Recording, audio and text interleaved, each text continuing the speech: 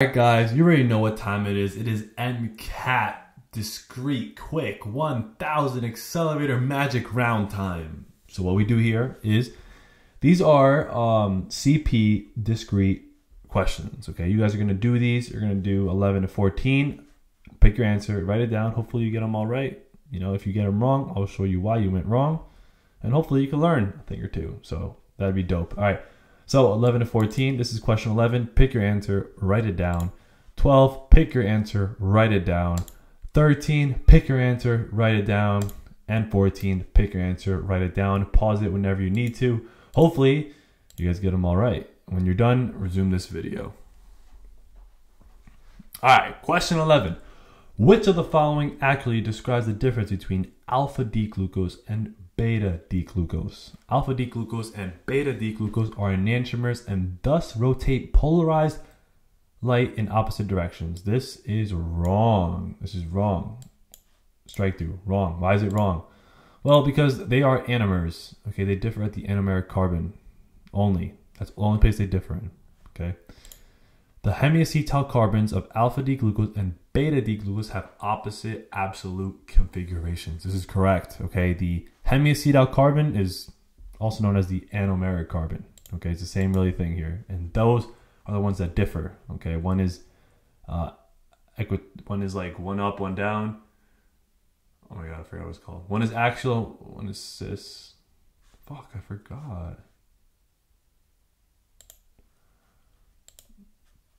All right, B. The hemiacetal carbons of alpha D glucose and beta D glucose have opposite absolute configurations. This is correct. This is correct. Okay, the hemiacetal carbon is also the anomeric carbon. Okay, one will go up, one will point up and be cis, and the other will point down and up and be trans. Okay, you should know the difference between those. C. One is a reducing sugar and the other is not. No, these are monosaccharides. Okay, glucose is a monosaccharide. They're all reducing sugars. Okay.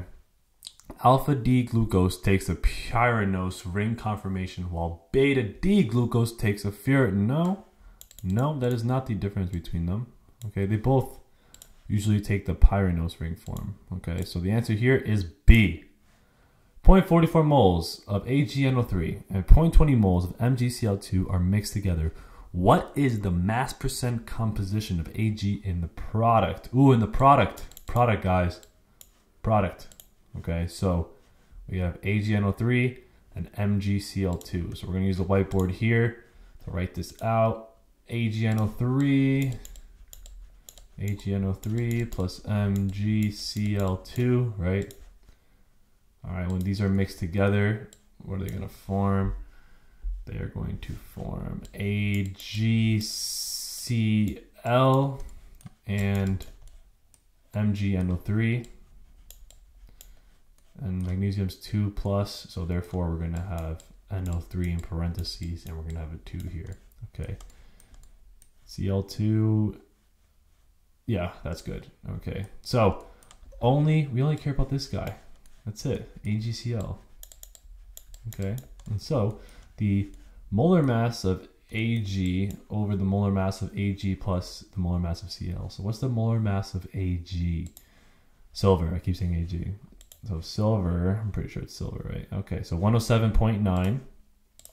107.9 divided by 107.9 plus, I believe chlorine is 35. Let me double check. Chlorine is 35.5. Cool. 35.5. You divide these. And I'm going to cheat and use a calculator because I want to save you guys time and I'm pretty sure you guys know how to do this type of math, okay? So the answer is 7.9 divided by 107.9 plus 35.5. 0.75. This one, C is the answer. Let's keep going. When blood is donated, it is important that no active antibodies are transferred along with the red blood cells. In order to accomplish this, a reducing agent, which breaks the disulfide bonds that maintain the coordinate structure of antibodies, is added to donated blood. This is effective because what? Reducing agent is going to give the cysteine an electron and that's going to separate it. It's that simple. Okay, reducing breaks disulfide bonds. All right, oxidizing cysteines make disulfide bonds. So A, no.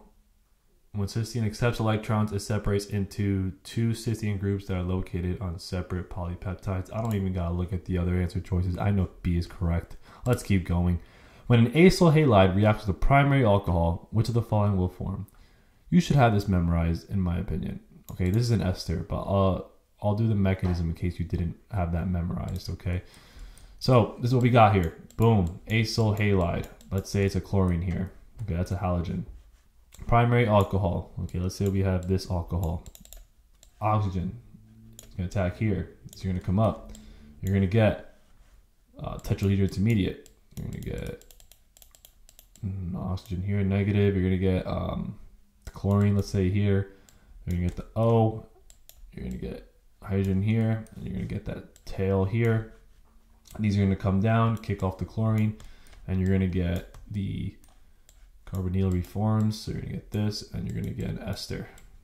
Okay, and you have a hydrogen here, and this is eventually deprotonated by either I don't know something water or basic conditions, whatever you do. Okay, this is to be deprotonated and you're to get an ester. Answer is A. And that's how you do it, guys. That's how you do it. Hopefully, you guys got everything right. I'll see you guys for the next round of MCAT Fast Discrete 3100 Magic.